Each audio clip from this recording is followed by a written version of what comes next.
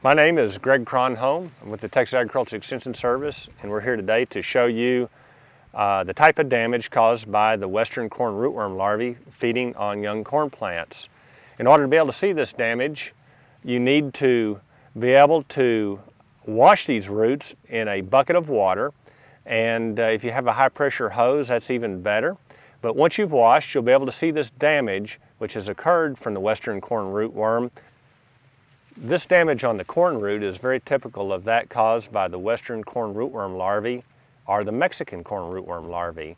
They often will feed or tunnel in the roots as they're growing out and you will see these pruned roots here and often they will prune it all the way back to the node and in severe cases they will completely eat off a node or several nodes all the way down to the very apex of the root.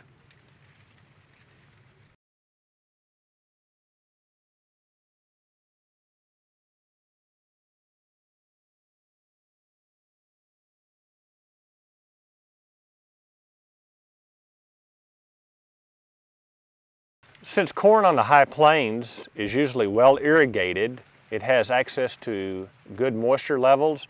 And when we have this we get what we call root regrowth uh, where the rootworms have damaged the root. And that's what all this root proliferation is here in this root mass. And uh, under light rootworm infestations this usually doesn't affect uh, uh yield at all. But this is an indicator that they did have uh, fairly heavy damage earlier but with the irrigation, the roots were able to regrow.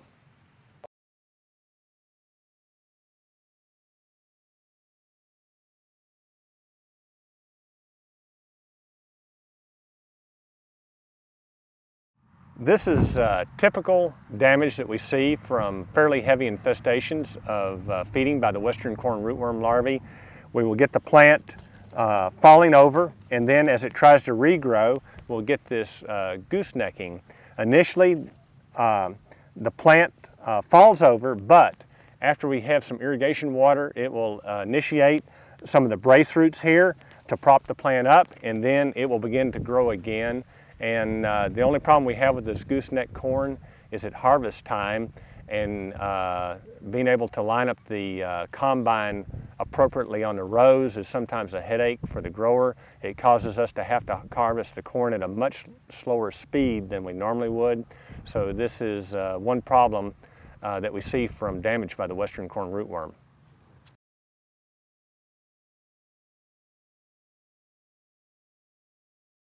The uh, western corn rootworm beetle emerges from the soil uh, this time of year and begins to feed on the foliage of the plant. Once the tassels emerge, they will move to the tassels to feed and then within a day or so we have silks on the plants and then they will move to the uh, silks to feed on those.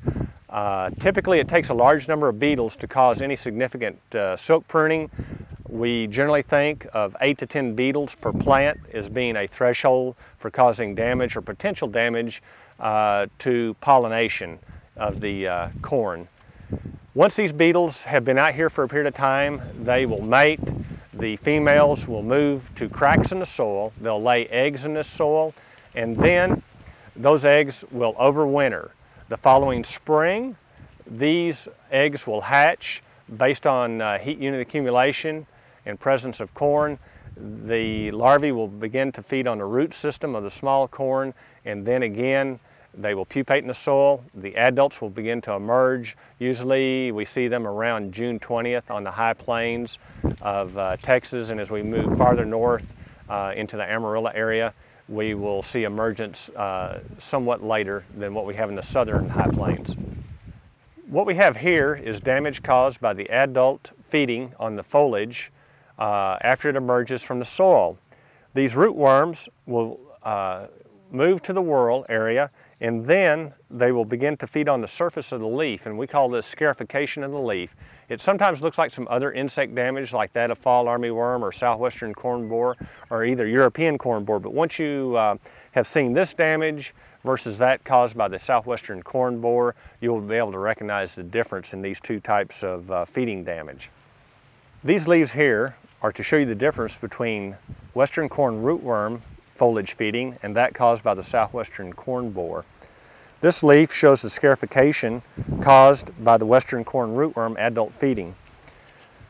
It can sometimes look like that caused by the southwestern corn borer. These small areas here were caused by the larvae as the leaf was unrolling in the whorl.